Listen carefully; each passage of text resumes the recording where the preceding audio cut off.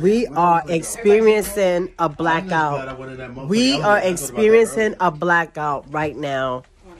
We are experiencing a blackout. We are literally on a cruise ship right now. Heading to the On the Carnival Horizon, heading to Aruba to finish up Mommy's legacy. And we had experienced, I I don't even know we're You ain't moving. got no Wi-Fi, so it ain't going out.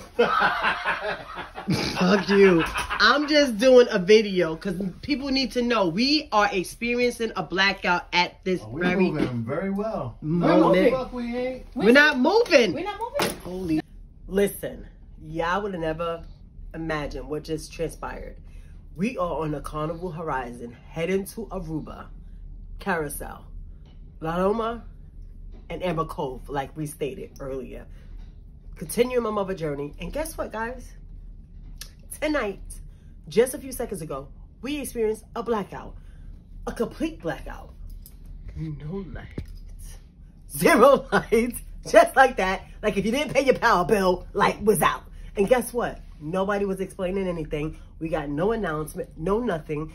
People in the hallway confused. They had the emergency lights at the bottom. Every other light was on so we could see each other, so we could speak. Nobody knows nothing. What is going on, Carnival? What is going on, Horizon? We don't know. Stay tuned. We'll give you an update.